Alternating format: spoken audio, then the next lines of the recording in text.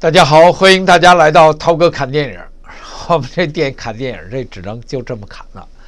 呃，我刚才今天白天说了《Kingsman 三缘起》，中文叫《缘起》，它播出的时间，呃，是去年十二月二十二号，就是圣诞节，圣诞节之前播出来。我不知道国内大概什么时间播。那这个电影其实没有太引起，没有太引起更多的注意。那这个概念就跟那个不要抬头那概念类似，它是在不要抬头那电那个概那个呢是在网上播出的，所以它也没有在公众影响很大。我不知道它在哪儿播出的，反正我自己是在网上看到。因为那这是一个这是一个很有趣的，就是说这东西出现了，它却代表着一种隐喻。那不要抬头是完全。预示就是完全揭示总结了，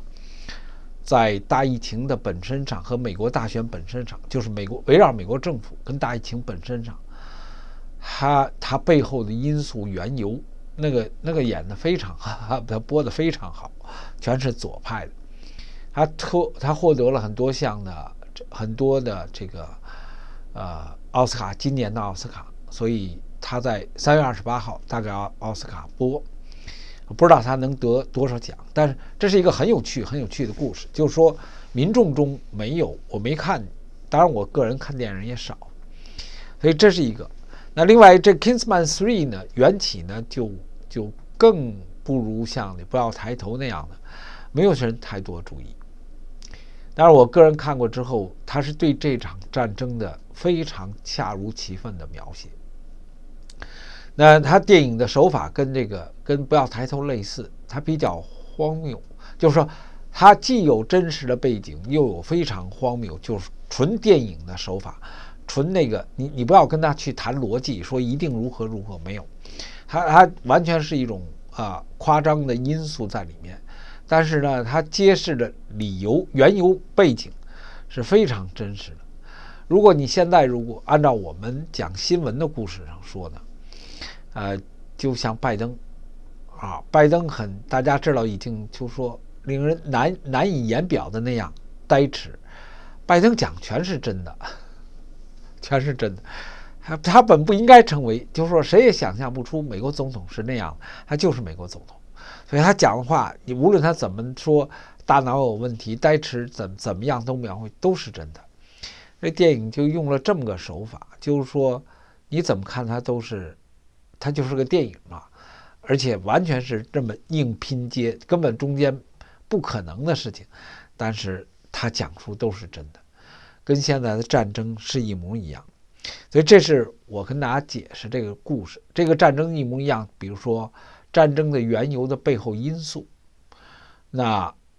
普通人几乎所有人，普通的民民众，包括高，包括官员，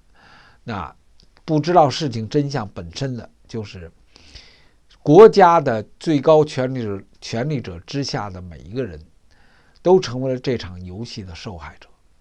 每个人都把自己放在正义的角度，但都没有都没有正义可言。就是它是这么一个很很有趣、很有趣的。我眼睛里我以为就是很有趣、很有趣的这么一个东西。呃，这是这是我们简单这么说了。跟大家分享这个，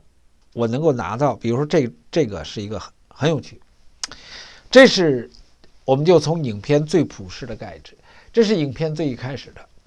那这个人叫康纳，就是 Kinsman 牛津家族的一个一个一个，就是他实际是个配角了，牛牛津家族公爵的儿子，唯一的儿子。那他是。在他爸爸的保护下，因为他妈妈死了，他爸爸保护下，坚绝对不能参战，一定要保护他。结果呢，他却满腔热忱的，一定为祖国参战，为英国参战。他是英国嘛，为英国参战。从他不到十八岁到转到十八岁，他竭尽最大可，就是竭尽最大可能。然后他爸也竭尽最大可能去保护他。这是在这整个故事在发生的背景是一次大战，所以但是他完全是一腔热血，完全是爱国青年，跟我们现在看到在网上我们看到的故事完全是一样。那在网上，我们现在能够看到故事，就是对乌克兰的支持和乌克兰民众的那种抗争侵略者的概念，就是他身上表现的淋漓尽致，完全完全是那样的，一切是国家里赴呃赴汤蹈火，血肉之躯，为为国争，为国家的荣誉，为国家，这都是所有这些词，你在对乌克兰上的和乌克兰民众的，比如说基辅市长，那。是，比如说，包括这个佐伦斯基用这些词，他鼓动那些普通的人，完全是一样。那最后呢，他他以欺骗的手法，就是他换了一个人名，还是最终到了战场，然后立了战功，就只能叫立了战功。而他立了战功的故事呢，是为了揭秘事情的真相。而这揭秘事情的真相的本身呢？是让更多的是为了让美国能够参战，就是让战火打得更大，战火打得更大呢，才能使得英国得以幸存。啊，所以这就回到这，基本上就让英国得以幸存。结果在战争最终就是对他而言，他即将获胜，知道事情真相之的那那种肯劲儿上的时候，他意识到战争是可耻的。他才理解他父亲讲那句话，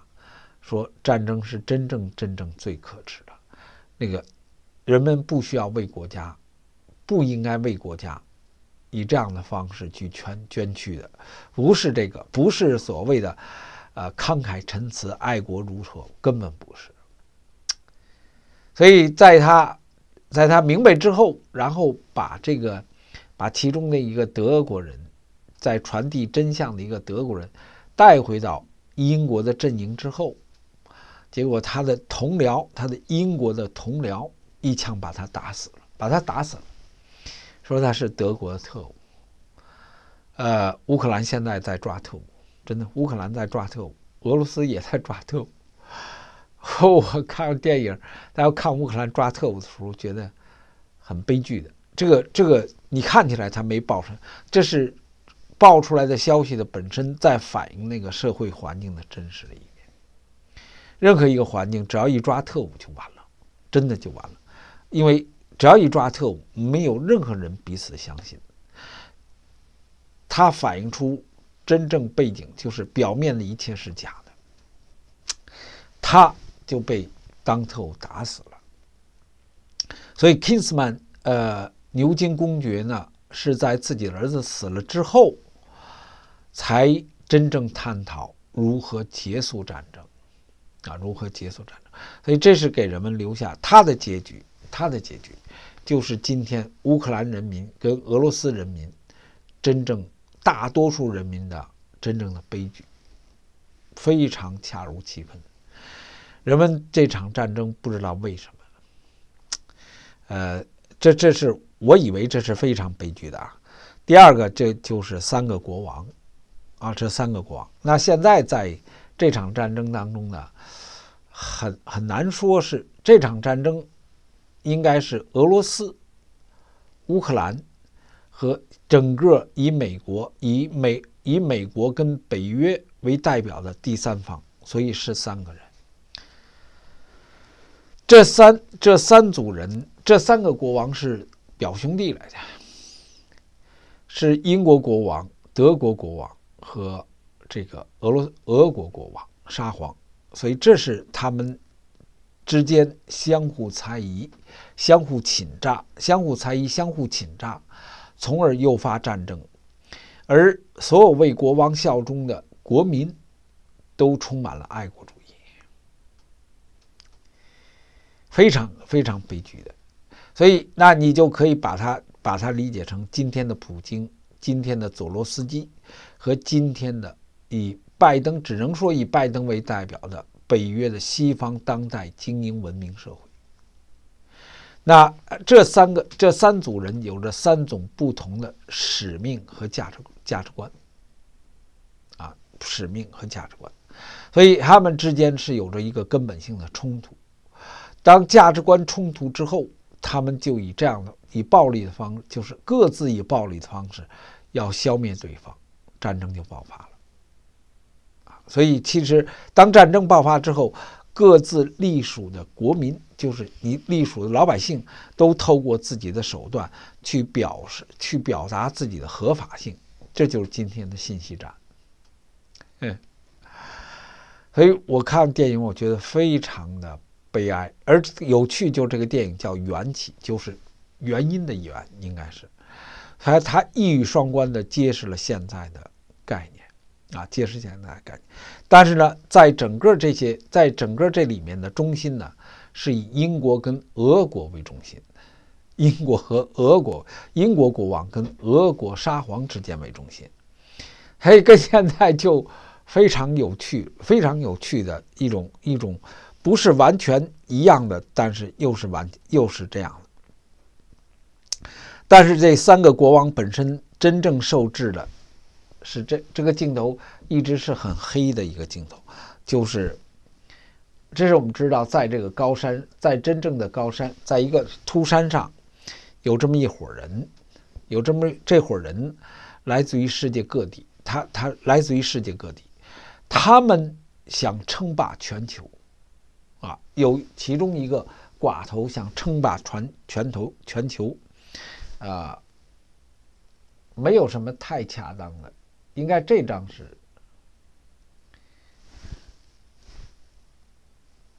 这张会清楚一点。这是整个要称霸全球的这么一个场面。这些人来自于，因为他他一直那个开会的本身会场都是这么黑暗。他其实他在讲述的，就是今天的深啊，我们通常说深层政府，你叫大重置也成，深层政府也成，他们是在表面上。在表面的社会环境中，呃，都不是国王，但他们所各国的国王都要听他们的，就是各国的首脑们都要听他们的，因为太黑了，我就想找张好的，但恐怕是没有，啊，应应该是没有，所以他他的他的他的概念，基本的概念是呃。我们还回到这儿，就这个，这是一个很很典型的场面。我们就这么看了，因为太黑了，有有朋友能够看到，所以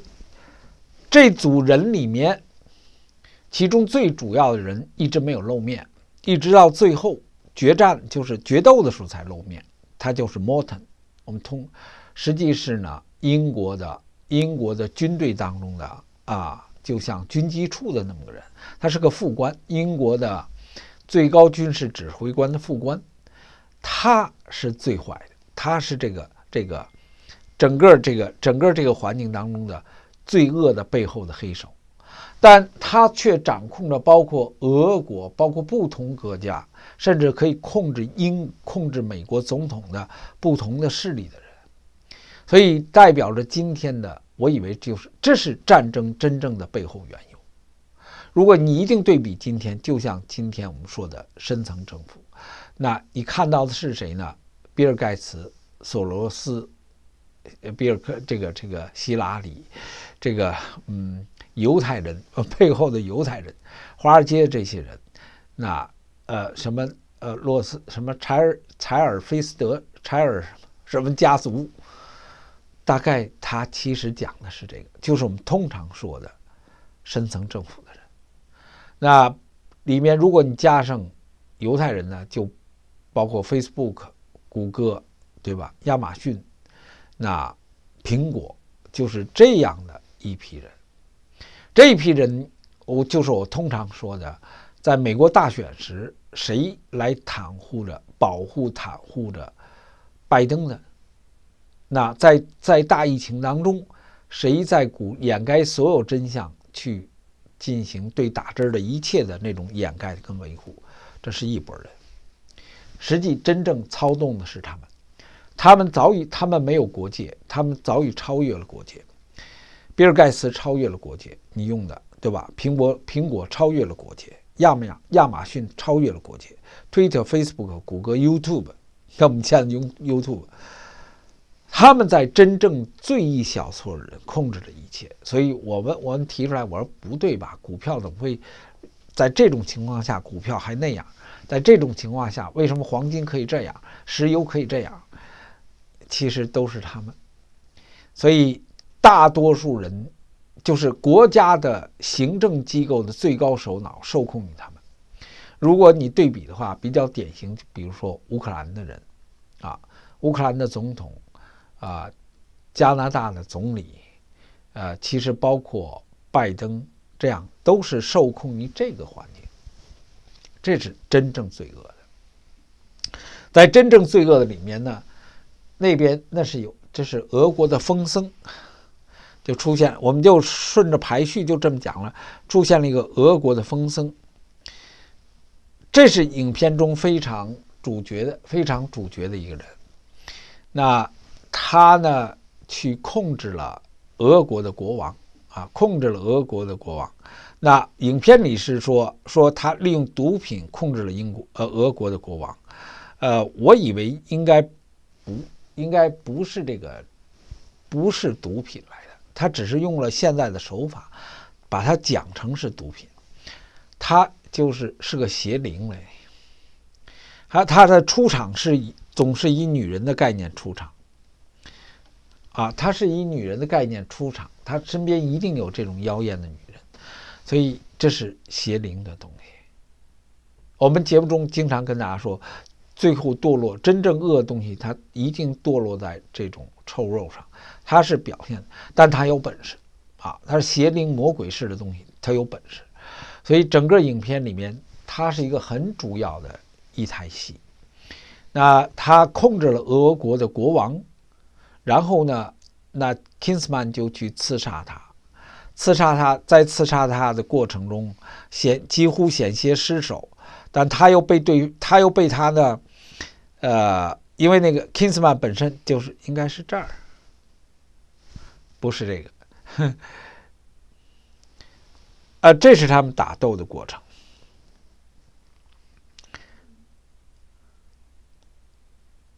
这组镜头是他们打斗的过程。那，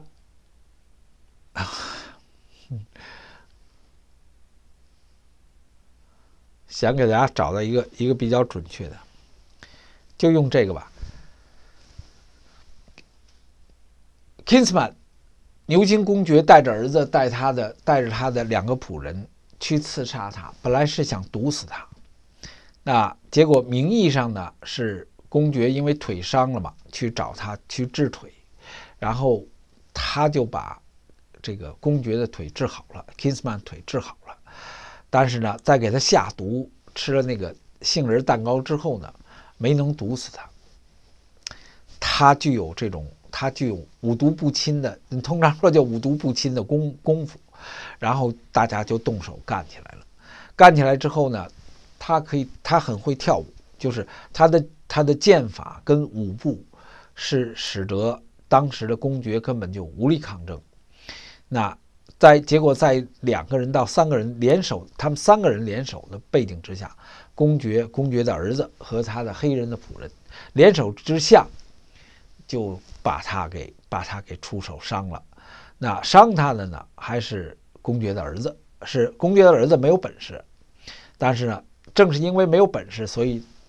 在中间搭手的时候，在他不经心的时候把把他伤了，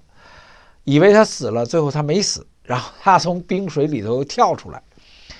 那最终是被另外一个女辅，影片里的女辅人用枪把他打死的。所以事情是这么结束的。那他的这个角色就是讲述了今天恶的势力的背后是邪灵来的，而邪灵是透过阴邪之力的，就是男女的阴邪之力，它不是正的，但它的本事超过了一般的人，所以它可以能够给人治病，可以可以可以令人感觉就是会得到人的好处，而人通常的人的功夫是战胜不了他的。所以这是在影片里非常重的一笔，他在你他在描绘着在今天的社会中，今天的左派势力中，我以为你可以把它对比成是共产主义邪灵，啊，他超过了一般的人，他超过了一般有形的生命，那共产主义邪灵，他因为是在俄国的概念的背景之下，在他死了之后，那那我们刚才看到的那个。那个那个最后背后的黑手呢，就找了列宁。这个他没有没有这段故，就是他没有这个相应的影片，找来列宁说你必须在俄罗斯俄国发生革命。列宁呢就领了这样的命令，领了这个命令之后，就跟这个那个老板说了，就说了，说我可以干，但你要给我创造一个右派，我是左派。你要给我创造一个右派，你必须有一个平衡，那才能使我得到生存。很有，就是说它里面很有趣，很有趣的。所以邪灵是主要东西。杀过邪灵之后，结果民间出现了，它表面上在俄罗斯就出现了革命。列宁在一九一七，列宁在一九一八，就出现了革命。所以这个影片的故事就是就是围绕这么个概故事本 本身在走的。呃，那然后接下来就我们跟大家介绍中间的中心人物，啊，中心人物应该是这个诺顿，呃，莫顿，我看有没有莫顿呢？啊，在这儿有莫顿，他，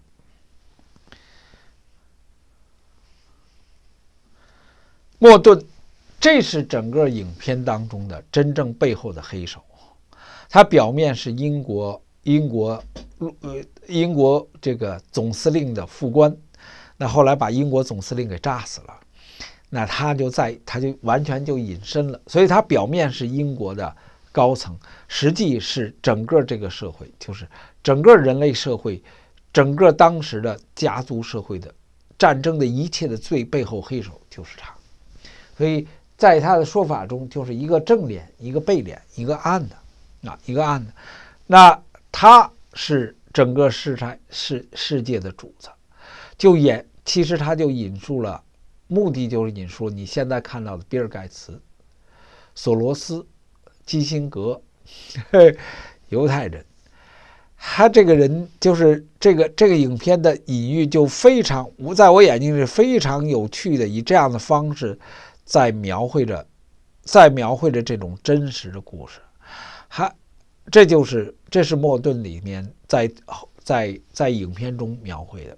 那这些人他代表什么呢？代表的是这个，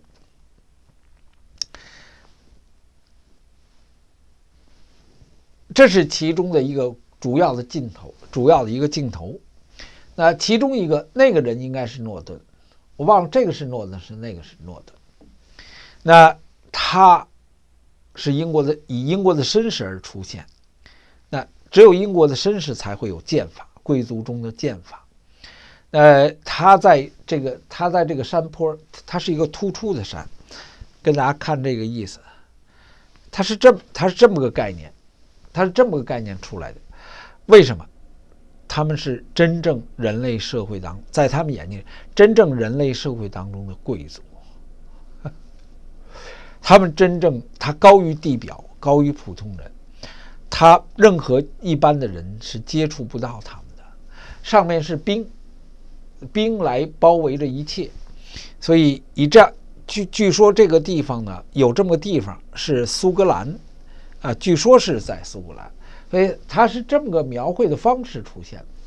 啊，那极少数的深层政府的背后的势力。是今天人类社会的主，他们是最顶层的人，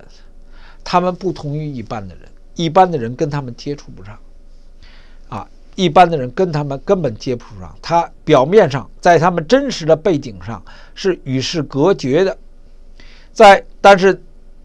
在这种与世隔绝的故事当中呢，他又倾向于这种绅士跟贵族，索罗斯。比尔盖茨，你看到他们讲述的都是，都是这个道理。那你说，比如说，这个加拿大的特鲁多，或者说乌克兰的呃的这个谁谁谁，或者是美美国的这个福奇，他们只是前台的走卒。列宁都是前台走卒，其实是他他的隐喻有点有点是这种含义，就是这是前台走卒。那在这个山坡上，他们过着贵族的生活，所以在后来他他在比比试的过程中呢，莫顿输给了那个陪练的人，输给陪练的人一扭脸，他就把那陪练的人就给杀了，一剑就给杀了。所以他不允许任何人战胜他，在任何环境上战胜他。那这是一个氛围，在这个氛围当中，里面有羊。啊，这是山羊来的。那这个山羊里里里面呢，里头什么故事呢？就是这种山羊，它产生的开什米尔就是羊绒了，是世界上最昂贵的羊绒，最好最昂贵的羊绒。那其中这个女的，就这个黑穿着黑衣服这个女的，这是其中一个走卒。这个女人呢，曾曾经就进入了白宫。然后把当时白宫的总统，呃，就以跳脱衣舞的方式，然后拍了影片，就把他干掉了。他的所以影片里讲述的美国人就是这样啊。所以那白宫的故事到现在依然是这种故事，无论是家族了，无论是这个比尔·克林顿呐，还是今天的拜登家族，就始终自始至终是这个故事，对吧？这个我们不用多解释。所以，所以是从那个女的身上，是她去把美国人给给干掉，来拖住美国人不能够坚持正义。可是这个女人呢，她戴了一个戴了一个围巾，是开什米尔，戴了这个围巾的开什米尔就暴露了自己的身份，暴露自己身份，从而使得，呃，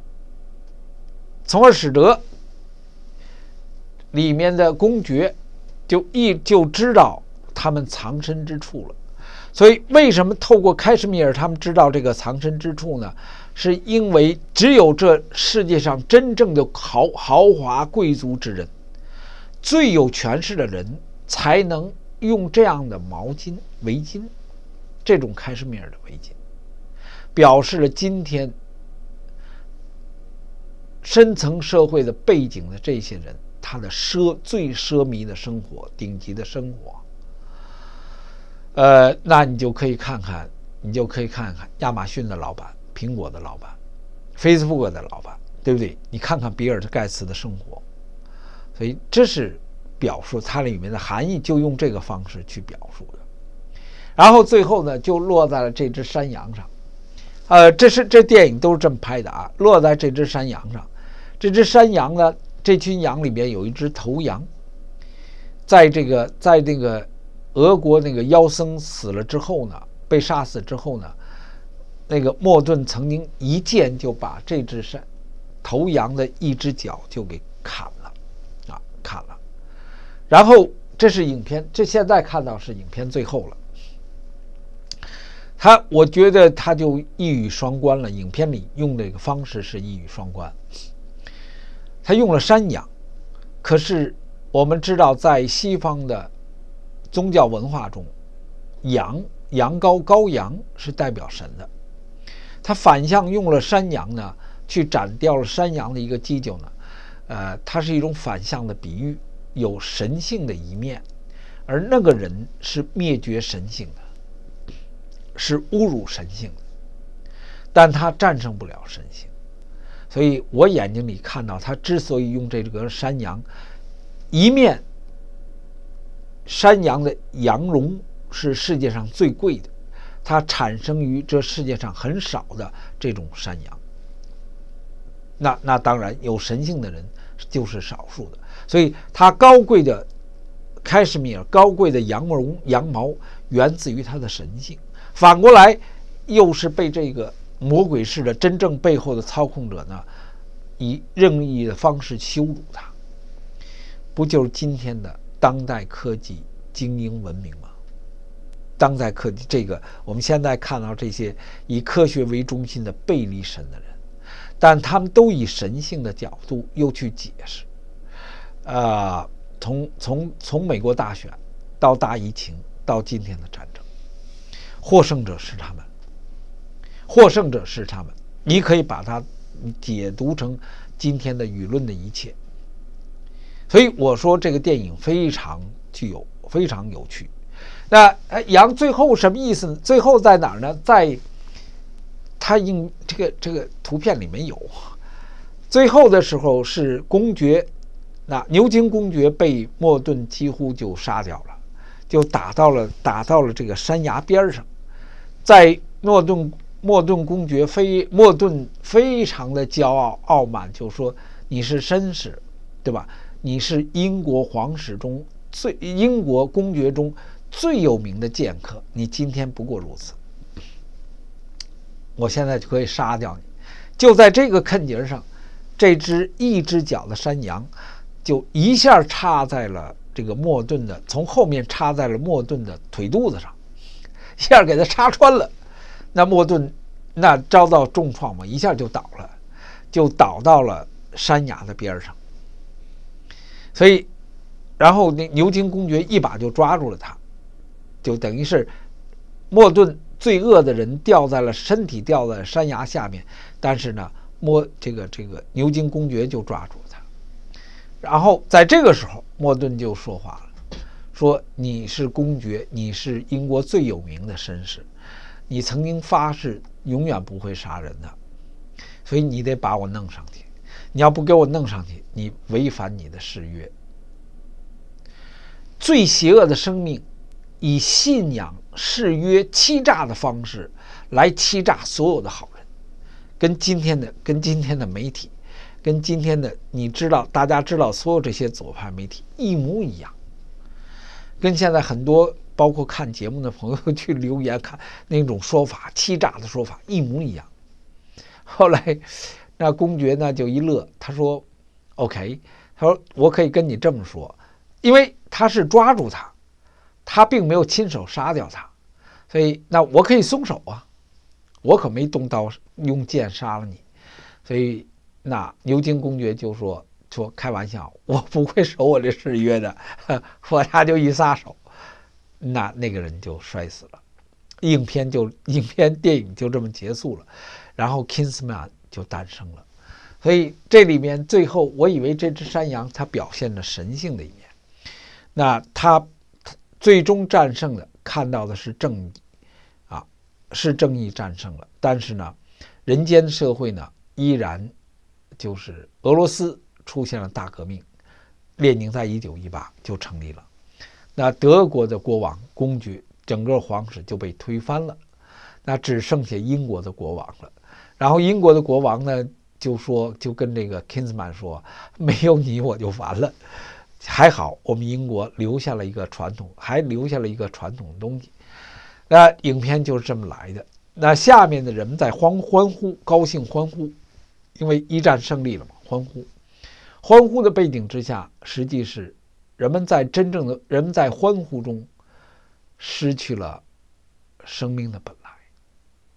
啊，没有人知道事情真相，就以这样的方式，还英国人还以为自己的战胜了，还以为自己国家伟大了。其实打了一场最没有意义的战争，而这场没有意义的战争，却与人的观与生命的认知直接相关。所以英国从此败落，美国从此起来。那英国败落结束的一切，其实是因为他背离了神明。然后原因就是中间出现了邪灵，而这个邪灵它隐喻在俄国身上，然后俄国就出现了革命，共产主义就出现了，结果今天这个故事画圆了，所以这是一个非常有趣的故事，感谢朋友。